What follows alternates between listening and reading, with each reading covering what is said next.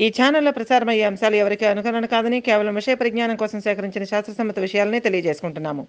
ఇందులోని అంశాలు కానీ కంటెంట్ కానీ ఎవరైనా కాపీ చేసినా వేరే విధంగా ఉపయోగించినా మేము తీసుకున్న చట్టపరమైన సివిల్ క్రిమినల్ చర్యలకు బాధ్యులని తెలియజేసుకుంటున్నాము. ఇట్లు CTV colours of life channel యాజమాన్యం.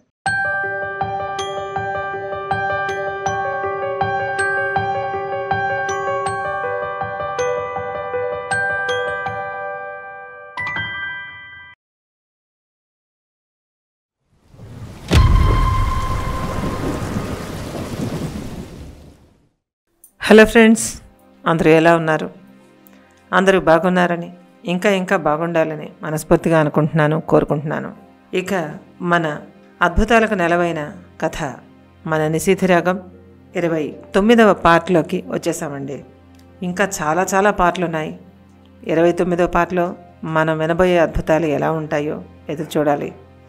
అంతేకాకుండా స్టీఫెన్ నికెల్ బాబ్ అలాగే దుర్గాదాస్ ఖాసిం గురురాజప్ప జయంతసేన మధుకర్ విద్యాధరి ఇంకా సుభద్ర నాగమణి కన్మణి ప్రొఫెసర్ ఆనందరాం ఇలా ఇంతమంది వ్యక్తుల మధ్య తిరుగుతూ ఉన్నటువంటి అద్భుత రహస్యాల ఈ సుడి మన కథని ఎటువైపు తీసుకెళ్తుందో చూడాలంటే మీరు ఏ ఒక్క ఎపిసోడ్ని మిస్ కాకుండా చూడండి.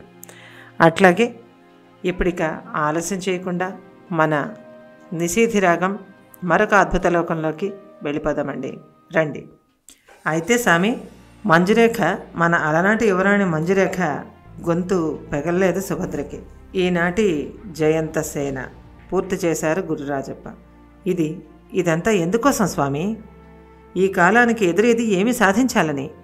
ఎందరి జీవితాలను తిరిగి జన్మించేలా చేయగలగడం గొప్పే. కానీ ఎందుకు? ఎందుకు ఇదంతా? నట్టనడి సముద్రంలో నీటి తవ్వకం లాంటిది కాదా? ఆమె గొంతు గొంగురిపోయింది. ఆపు నీ ప్రేలాపన.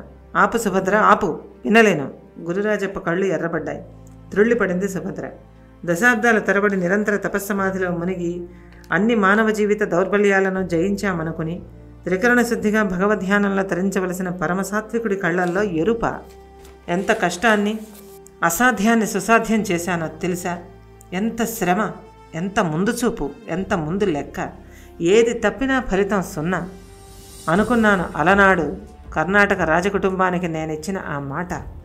కేవలం దుఃఖోపశమన వాక్యం అనుకున్నావా పిచ్చి సుభద్ర?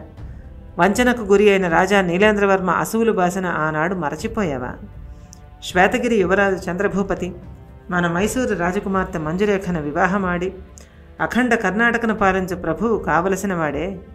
లేకున్నా చంద్రగిరి ప్రభువైన విక్రమసింహ రాయప్ప అవసరమైతే రాజకీయ వివాహమాడి మన కర్ణాటకను పరిపాలించే అవకాశం ఉన్నవాడే ఒక సాధారణ ఆటవికురాలి దుష్ట వాంఛకు బలి అయి విగతజీవిగా ఎందరు పడి ఉంటే రాజమాత కుముదవల్లి దుఃఖ సముద్రాన్ని అప్పుడే మర్చిపోయావా? నన్ను కూడా మర్చిపోమంటావా? ఆయన కళ్ళు ఎరిపెక్కాయి. అలా అనలేదు స్వామి. రాచరికంలోనే ఉన్నది ఈ రక్త ప్రవాహం. ఆ సింహాసనమే ఒక ద్వైదీభావయుక్త రస సముద్రం అలాంటి చోట కుట్రలు పన్నాగాలు విద్వేషాలు హత్యలు నాలుగు స్తంభాలై నిలబడడం సహజం కాదంటారా? ఏ రాజవంశం ఈ నాలుగు స్తంభాలటను తప్పించుకుని మనగలిగింది? ఏ రాజరిక వ్యవస్థ ఈ నిరంతర పోరాట చిత్రానికి రంగులు వేయక మిగిలి ఉంది? సుభద్ర మాట ఆగిపోయింది. అయితే మధ్యలోనే ఉగ్రంగా అన్నారు గురురాజప్ప. ఆయన కళ్ళు ఎర్రబడ్డాయి ఏమున్నది స్వామి? మనమా రాజకుటుంబం గురువులము. వారి నిరంతర కార్యక్రమముల మంచి చెడులు చెడులకు ముహూర్త నిర్ణయం చేయుటయే మన కర్తవ్యము. అంతేగాని ఆపిందామే. అంతేనా? అంతేనా కులగురువు కర్తవ్యము? కేవలం రాజకుటుంబ వ్యవహారములకు ముహూర్తముల చూచుట కులగురువు పని. అందుకు సమస్త శాస్త్రముల ఎందు నిష్ణాతుడైన నేనేలా? మంత్రములు చదువు బాపడ చాలడా? గురురాజప్ప అసహనం తీవ్రస్థాయికి చేరిపోతోంది. అదేమి మాట స్వామి?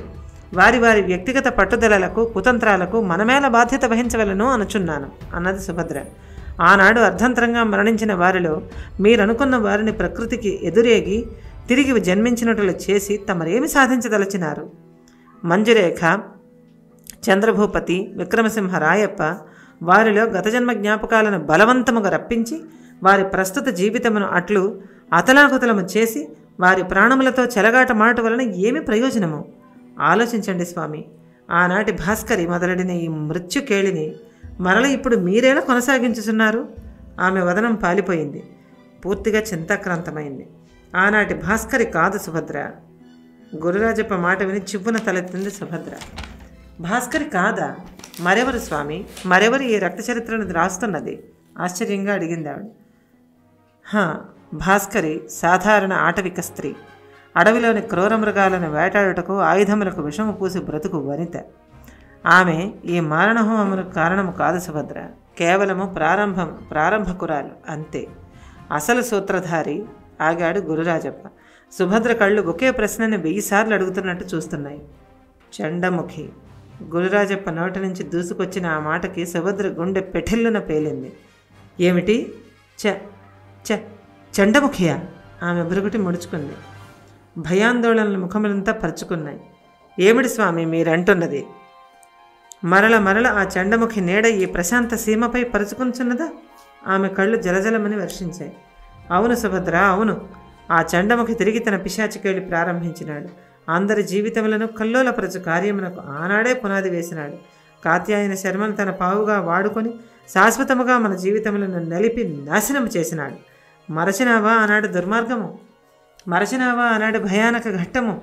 కాళ్ళ పారాణి ఆరకముందే నిశ్చితార్థము నాడే గట్టిన ఆ మంగళ తోరణము వాడకముందే మన యువరాణి మంజురేఖ జీవితము పతికడమై కత్తికి బలి అయి రక్తమోడినది కాదా మన ప్రియ శిష్యుడు శ్వేతగిరి యువరాజు కర్ణాటక భావి రారాజు చంద్రభూపతి ఇంకా విక్రమసింహ రాయప్ప ఆ మ్లేచ్ఛ మంత్రగాని దుర్మార్గమునకు ఆ దుష్ట చండముఖి పన్నాగమునకు పెళ్ళి పీటలు ఎక్కవలసిన వారు పాడి ఎక్కినారు రాజగురువన్ననేమి సుభద్ర రేపటి పంచాంగమ చెప్పు బాపడు కాదు. రాజగురువనిన రాజకుటుంబ శ్రేయోభిలాషి. రాజవంశ పరిరక్షణకై గ్రహగతులను పరిస్థితులను నిరంతరం పరిశీలించి తగు సూచనలిచ్చి అన్నింటినీ కాచుకున్న రక్షా కవచము. రాజగురువే రాజుకు మార్గదర్శి. పురోహితుడనిగా రేపటి హితం కోరువాడు కాదా? మన నోటి మాటతో రాజ్యమే నడుచును. మన కన్ను సైగతో రాజే మిన్నకుండిపోవును. ఎట్టి కీలకమైన ఘట్టమైన మన నోటి వెంట అశుభవచనము పలికిన ఒక్క అడుగైన కదలదు. భావి రాజులకు విద్యాప్రదాతలము. అట్టి ముఖ్య పాత్ర రాజగురువనిన. రాజరికమున రాజును నడిపించి సారథి రాజగురువు కాదా. అటువంటి పాత్రలోనున్నామే ఈ గురిరాజప్ప కన్నుల ముందే ఆ రాజకుటుంబము వారసులు లేక వట్టిపోయినది. కోట ముట్టడికి గురి అయి నేల కూలినది. ఈ గురిరాజప్ప కన్నుల ముందే కర్ణాటక భావి రాజదంపతులు జంటగా చితిరెక్కినారు ఎందుకు? ఎవరి వలన? ఏ కారణం చేత సుభద్ర? కేవలము ఒక మ్లేచ్ఛ మంత్రగాని సాయమున ఆ చండముకి దుష్ట మంత్రశక్తుల ప్రయోగం వలన ఊరక ఉంది మా సుభద్ర. మనకెందుకులమ్మని తపస్సుకు పోవుదమా? మనమేమి సామాన్యులమా? ఎవరి గురురాజప్ప? చెప్పు సుభద్ర ఎవరి గురురాజప్ప? మంత్రతంత్ర యో ప్రయోగ సాధనలో ఆ ఈశ్వరుడి తర్వాత ఎన్నదగిన సిద్ధ సాధకుడి గురురాజప్ప. అరవై నాలుగు కళలను అవపోషణ పట్టిన అకళంక యోగ సాధకుడి గురురాజప్ప. అపూర్వ యోగ విద్యల సాధనలో యక్షులను సైతము తల్ల క్రిందులు చేయగల మహా మాయావి ఈ గురురాజప్ప. రాజనీతి తంత్రములో చాణక్యను మరపించి మేధావి. సమస్త రాజలోకము శిరస్సు వంచి ప్రణతులర్పించిన గురువులకే గురుస్థానీయుడి గురురాజప్ప. అట్టి ఈ గురురాజప్ప కన్నుల ముందే ఇంత కటిక దారుణము జరుగుతూ ఉంటే నాకెందుకని కన్నులు మూసుకొని గడపగలనా? అది యా నీవు చెప్పదగినది. అందుకనే నడుము బిగించినాను. ఆనాడు కుతంత్రము చేత మరణించిన రాజదంపతులను తిరిగి బ్రతికించలేను. కాని మరల జన్మింపజేసి ఆ ఆత్మలకు వారు పోగొట్టుకునని ఈ జన్మను పూర్తిగా స్ఫురింపజేసి ఆనాటి ప్రేమానురాగముల అనుభవముతో హృదయమును ఉప్పొంగజేసి తిరిగి పూర్ణ జీవితమును ప్రసాదించవలనని సంకల్పించినాను సుభద్ర. అందరి తలరాతలు ఆ విధాత వ్రాసిన వీరి తలరాతలు నేను లిఖించినాను. కర్ణాటక రాజవంశ కులద్రోహికి తగిన బుద్ధి చెప్పి తిరిగి ఆ రాజవంశజుల ఆనందమును వారే అనుభవించినట్లు చేసి అహో రాజవంశ కులగురువు మహామహిమాన్వితుడు గురురాజప్ప ఆనాడు చేసిన ప్రతిజ్ఞకు ఈనాడు చెల్లించినాడని సమస్త లోకము అబ్బురపాటుకు లోరగునట్లు సంకల్పించినాను. ఇప్పుడు చెప్పు సుభద్ర నేను చేసినది నీకింకనూ తప్పనిపించుచున్నదా? సుదీర్ఘముగా చెప్పి ఒక క్షణం ఆగాడు గురురాజప్ప. సుభద్ర నోట మాట పడిపోయిన దాని వలె నిశ్చేష్టాలై చూస్తూ ఉన్నది. బాగా చీకట్లు కమ్ముకున్నాయి. స్వామి చంద్రోదయం అవుతున్నది. మాటలలో పడి మరచినాము. మీరు సంధ్యావందనము గావించిరండి. నేనును సాయంకాల దీపం వెలిగించదను. మిగిలిన మిగిలిన విషయములు ఆ తదు తదుపరి చర్చించుకొనవచ్చును అని పడమటి దిక్కున చిక్కనవుతున్న చీకటిని చూస్తూ అన్నది సుభద్ర. సాలోచనగా తలపంకించి కావేరీ దిశగా నడిచినాడు అపూర్వ మహా మంత్రతంత్రవేత్త గురురాజప్ప. విన్నారా గైస్? ఎంత విచిత్రమైన కథనం ఎంత వి విచిత్రమైన సంఘటనల సమాహారం. ఈ నిశీధి రాగం సర్వసాధారణ కథ కాదు. గత జన్మలు ప్రస్తుత జన్మలు పునర్జన్మలు. ఈ మూడింటి మధ్య భూత భవిష్యత్ వర్తమాన కాలాల మధ్య ఆత్మ ఉయ్యాల కట్టుకొని ఊగుతూ ఉంటే దానికి సంబంధించినటువంటి వారు దానికి కారణమైన వాళ్ళు ఇంకా జీవించి ఉంటే వాళ్ళని ఎలా గైడ్ చేస్తారు ఎలా ముందుకు తీసుకెళ్తారు ఈ కథ ఎటుపోతుంది చంద్రభూపతి ఎవరు? మంజురేఖ ఎవరు? విక్రమసింహరాయప్ప ఎవరు? వారిప్పుడు ఎవరిగా పుట్టారు? ఎప్పుడు కలుసుకోబోతున్నారు? కలుసుకుని వారు సాధించగలిగిన కార్యం ఏమిటి? ఈ విశేషాలన్నీ తెలుసుకోవాలన్నా? మహామంత్రవేత్త అయినటువంటి గురురాజప్ప ఏం చేయదలుచుకుంటున్నాడో ఏం చేయదలచి తపస్సమాధి నుంచి ఆ దంపతులు బయటపడ్డారో అది తెలుసుకోవాలన్నా? వీరికి స్టీఫెన్ నిఖిల్ తాంత్రిక దుర్గాదాస్కి ఏమిటి సంబంధమో తెలుసుకోవాలన్నా? జయంతసేన ఈ గొడవలోంచి బయటపడుతుందా?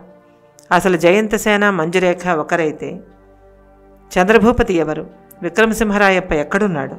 ఇవన్నీ తెలుసుకోవాలంటే ఈ కథాగమనాన్ని అనుసరించుకుని మనస్సు పరుగు తీయవలసిందే. కనుక అదేమిటో తెలుసుకోవాలంటే వచ్చే ఎపిసోడ్ దాకా ఎదురు చూడవలసిందే.